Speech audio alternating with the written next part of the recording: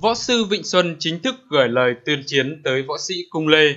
Nếu trận đấu này diễn ra sẽ tạo sức hút chẳng kém trận đấu boxing giữa Mayweather và McGregor. Với những người hâm mộ Việt Nam, Pierre Forest và Cung Lê, cũng như là bản sao của cuộc so tài Mayweather và McGregor. Sáng ngày 22 tháng 7, trên trang Facebook của võ sư Vịnh Xuân Canada, Pierre Forest có gửi thông điệp thách đấu tới nhà cựu vô địch MMA, người Mỹ gốc Việt Cung Lê. Mới đây trên trang Facebook cá nhân, Cung Lê đã tuyên bố nếu giao đấu anh sẽ hạ Pierre-Forest trong một phút. Hiện tại hai bên vẫn chưa chính thức chốt về trận thử sức này. Nếu cuộc tỉ thí của Pierre-Forest và Cung Lê, đó sẽ là một trận đấu được làng võ Việt chắc chắn rất quan tâm. Một khi cuộc đấu diễn ra, nó sẽ thi đấu theo kiểu truyền thống với 3-0, điều kiện từ võ sư Forest. Thứ nhất, không đeo găng. Thứ hai, không có mũ bảo hiểm. Thứ ba là không được hoãn trận đấu. Động thái này cho thấy Forest muốn chơi một trận sống mái với Cung Lê. Người trước đó bị võ sư Canada đánh giá có những câu nói có phần bênh vực trưởng môn Nam Huỳnh Đạo Huỳnh Tuấn Kiệt và coi thường Forest. Trận thư hùng giữa Forest và Cung Lê chưa dẫn ra, song nhiều người liên tưởng tới trận boxing giữa Floyd Mayweather gặp Conor McGregor. Những tay đấm thuộc trường phái khác nhau nhưng đã quyết định thi đấu với nhau theo một phong cách hoàn toàn khác. Gã điên McGregor thách đấu Mayweather và chấp nhận so tài theo luật boxing để sở trường của tay đấm người Mỹ. Còn nếu Cung Lê nhận lời thách đấu từ Flores, anh sẽ thi đấu kiểu truyền thống với Perrier Flores có phần vô luật và không căng, không mũ bảo hiểm. Tất nhiên với một võ sĩ từng trải qua nhiều môn võ như Cung Lê, anh từng học Sanda, vua Việt Nam, Taekwondo, vật và võ Brazil Jiu-Jitsu và chắc chắn tay đấm 45 tuổi chẳng ngán gì những điều kiện mà Forrest đặt ra. Trải qua tổng cộng 29 trận đánh chuyên nghiệp, 17 kickboxing và 12 trận MMA, Cung Lê đã có nhiều kinh nghiệm thực chiến trên những võ đài khốc liệt nhất, còn Forrest mới chỉ kinh qua những trận đấu nghiệp dư. Võ sư Vịnh Xuân Canada thua thiệt quá nhiều so với Cung Lê về kinh nghiệm, cọ sát thực tế. Nếu xem những gì Forrest thể hiện qua các trận gặp võ sư lớn tuổi, Đoàn Bảo Châu và Trần Lê Hoài Linh, người hâm mộ võ thuật và dân làng võ đã ít nhiều thấy những điểm mạnh, điểm yếu của võ sư này khi so sánh với Cung Lê. Giống như việc McGregor, một tay đấm tổng hợp MMA, sẽ gặp rất nhiều khó khăn khi thi đấu boxing với độc cô cầu bại Mayweather, có 49 trận toàn thắng của làng quyền Anh. Perrier Forest đấu Cung Lê sẽ gặp nhiều thách thức, kèm theo sự tò mò từ người hâm mộ võ thuật. Tuy nhiên, chính những yếu tố khác lạ đó lại tạo sức hút cho hai trận đấu đặc biệt này. Các bạn hãy đăng ký kênh youtube của Trí Thức Vô Tận để đón xem các clip tiếp theo. Trên trang Facebook cá nhân, võ sĩ MMA gốc Việt Cung Lê tuyên bố nếu giao đấu, anh sẽ hạ võ sư Vịnh Xuân phái Nam Anh Prier Forest trong một phút. Ngày 22 tháng 7 năm 2017, võ sĩ MMA Cung Lê nói trong đoạn livestream trên Facebook của mình giải thích về việc thách đấu với võ sư Vịnh Xuân Prier Forest và cho rằng anh hạ Forest bất kỳ lúc nào mình muốn. Lê Cung thương quý vị cộng đồng cộng đồng Việt Nam. Lê Cung không có bao giờ nói là Lê Cung sẽ đấu cái thằng này, cái thằng này không có không có phải uh, đấu thủ mà có luyện tập võ mà đánh mấy người già hơn mấy người uh, nhỏ hơn. Vì sao lê cung đấu cái thằng này?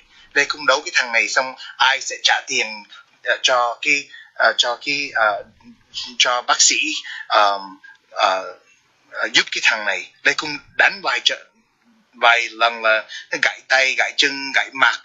Lê cung đâu có muốn là lê cung không có phải giống cái người đó? Mà nếu cái ông um, uh, kid mà ông làm võ giả lê cung lê cung đâu có biết lê cung không có biết ông khiết lê cung không có bảo vệ ông khiết lê cung là chữ bảo vệ bảo vệ cộng đồng việt nam. Lê cung là một người việt nam. Lê cung thương uh, cái cái cái nước của lê cung thì lê cung không có cần đấu với mấy cái thằng mà mà đi đánh mấy người già hơn đi đánh mấy người um, uh, uh, nhỏ hơn. Lê cung đã đấu mấy người giỏi nhất của thế giới. Vì sao lê cung đấu một cái thằng mà không có uh, không có tên không có không có gì mà lê cung không có uh, lê cung phải trả tiền để đấu thằng này. Thì vì lúc lê cung đấu xong ai sẽ trả? Uh, tiền để thằng này đi nhà thương. Lê cung phải trả chứ. Thì vì lê cung đánh cái thằng này nó bị thương thì thì ai sẽ ai ai sẽ lo cho cái thằng này? Lê cung đâu có muốn làm ai bị thương đâu.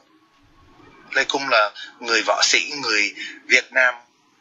Thì lê cung uh, không có cần không có cần đánh cái thằng này. Mà nếu thằng đó muốn tới võ đường lê cung lê cung cho nó mặc mấy cái đồ để nó không có bị thương nhiều. Xong lê cung bắt nó trả một cái private lesson xong lê cung hạ nó dễ dàng. Nhưng lê cung hạ nó trong một phút lê cung hạ nó trong một phút lê cung muốn hạ nó trong 5 phút dễ dàng. Cái gì lê cung muốn hạ nó khi nào lê cung sẽ hạ dễ dàng. Ok? Lê cung không có nói tiếng uh, uh, không có nói về cái thằng uh, thằng Flores này nữa. Lê cung đã nói tiếng việt nam khoảng 15 phút uh, trước khi uh, quý vị mới lên cái facebook. Thì nếu quý vị muốn muốn uh, muốn uh, nghe lê cung nói gì thì lê quý vị uh, xin quý vị um, coi từ bắt đầu. Xong lê cung đã nói về cái cái cái cái anh lấu cá đó. Cái anh uh, Flores lấu cá. cái anh đó uh, không có phải võ sĩ thiệt.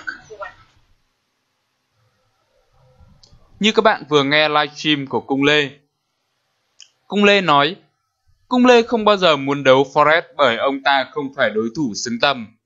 Đấu với ông ta, cung lê phải đi trả tiền viện phí à cung lê sẽ không quan tâm đến chuyện ông kiệt, trưởng môn huỳnh tuấn kiệt của nam huỳnh đạo, làm võ giả hay không, và cũng không biết ông kiệt tôi không bảo vệ ông kiệt mà bảo vệ cộng đồng người việt nam. Cung lê là người việt. Tôi không cần đấu với Forrest, người mà tìm đến mấy người già hơn thể hình nhỏ con hơn để đấu. Cung lê đã đấu với những người giỏi nhất thế giới. Tại sao lại đấu với Forrest không tên tuổi gì hết? Tuy nhiên võ sĩ gốc việt cũng khẳng định nếu Forrest tới võ đường của anh thì anh có thể cho đi viện trong chớp nhoáng ông ta tới, tôi sẽ phải cho ông ta mặc đồ bảo hộ để tránh việc bị chấn thương nhiều. Tôi sẽ hạ ông ta một cách dễ dàng trong một phút hoặc trong 5 phút. Hạ lúc nào là cung lê làm được lúc đó. Trong khi đó, võ sư vịnh xuân nói trước truyền thông rằng, lý do gì khiến cung lê thách đấu tôi? Cung lê không biết tôi thách đấu huỳnh tuấn kiệt vì chính nghĩa, muốn tìm lại sự thật cho võ thuật. Vì thế, lời thách đấu của ông ta đối với tôi quá ngạo mạn thậm chí cung lê tuyên bố nếu tôi đấu với ông ta thì sẽ phải tốn tiền, viện phí các kiểu. Đó là một sự sục phạm lớn với bản thân tôi. Các bạn hãy đăng ký kênh youtube của Tri thức vô tận để đón xem các clip tiếp theo.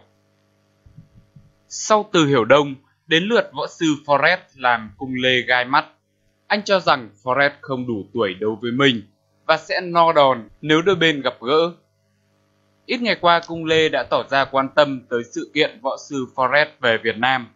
Cung Lê cho rằng Forrest đã bắt nạt người lớn tuổi khi giao lưu võ thuật với hai võ sư tại Hà Nội. Anh cũng cho rằng Forrest có phần thúc ép trưởng môn Nam Huỳnh Đạo, Huỳnh Tuấn Kiệt thái quá.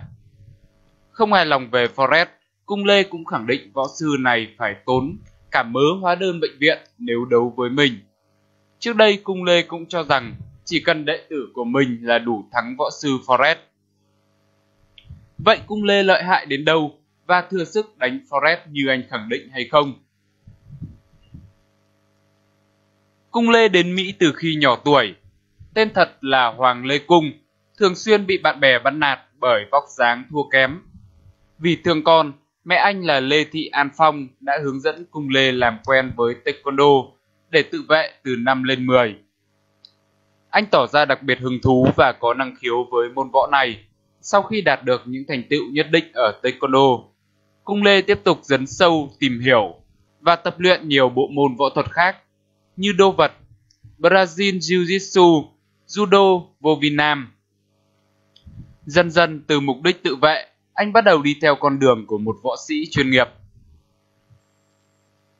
Để đạt được những thành công vang dội, Cung Lê đã trải qua sự khổ luyện để tạo nên một võ sĩ bất bại. Mỗi buổi sáng anh thức dậy sớm và bắt đầu các bài tập tạ nhẹ, nâng lốp ô tô. Buổi chiều anh đấm bao và một số bài tập bổ sung khác. Với Cung Lê, thời gian trong ngày của anh chủ yếu là tập luyện và tập luyện. Khi được hỏi đối thủ lớn nhất anh từng đối đầu là ai, anh chia sẻ thẳng thắn đó chính là Cung Lê. Theo anh, chiến thắng được chính bản thân mình là điều khó khăn nhất. Một khi đã vượt qua bản thân thì mới nghĩ đến chuyện đối đầu với kẻ khác. Cung Lê đã học và thành thạo nhiều môn võ khác nhau như tán thủ, taekwondo, judo, Brazil Jiu-Jitsu. Nhiều người nói đùa rằng anh mang trong mình một thân võ công cực kỳ thâm hậu, tựa như những cao thủ trong phim kiếm hiệp.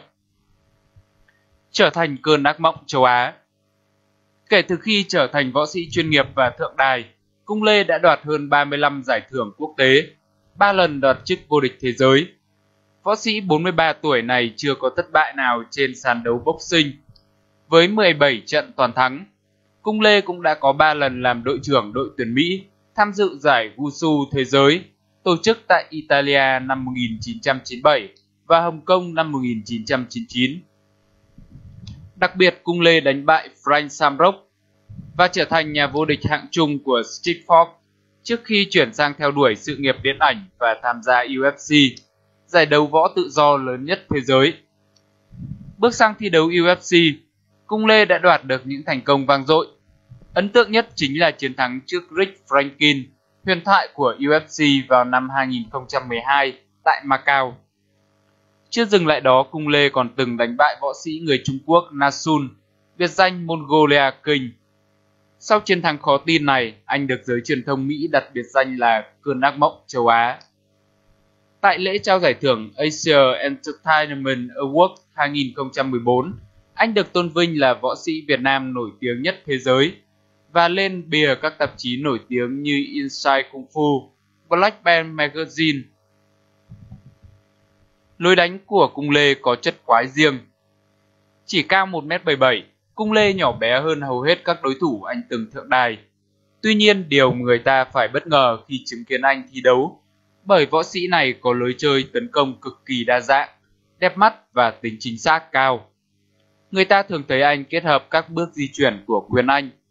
Những ngón khóa hiểm hóc của Jiu-Jitsu, đòn cắt kéo thường thấy ở môn tán thủ và lối tấn công sử dụng đòn khuỷu, đòn chân của môn môi thái.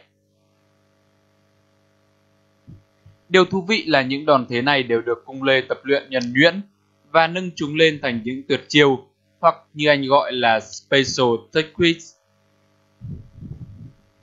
Đặc sản của cung lê là cú đá xoáy dựa trên phong cách chiến đấu của taekwondo và muay thái. Wrestler Bill Goldberg mô tả cú đá hậu quay vòng của anh như đụng phải xe tải, khiến các đối thủ vô phương chống đỡ.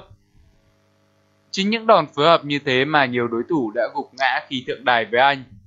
Không chỉ tham gia thượng đài đấu võ, Cung Lê còn dần dần nổi danh với vai trò diễn xuất và tham gia nhiều bộ phim nổi tiếng như Dragonia, Thiết thủ quyền, Vết thương khó lành. Năm 2009, anh hợp tác cùng ngôi sao võ thuật Trung Tử Đơn trong bộ phim Hồng Kông mang tên Thập Nguyệt Vi Hành. Trận đấu bắt đầu với cảnh rượt đuổi bay nhảy ngoạn mục, đậm sắc parkour giữa Cung Lê và Trung Tử Đơn trên phố xá Hồng Kông đông người. Tiếp theo đó là màn tỉ thí đậm phong cách võ tự do. Cảnh quay này sau đó được nhà sản xuất dùng để quảng bá bộ phim Thập Nguyệt Vi Hành tại Thượng Hải. Các bạn hãy đăng ký kênh youtube của Trí Thức Vô Tâm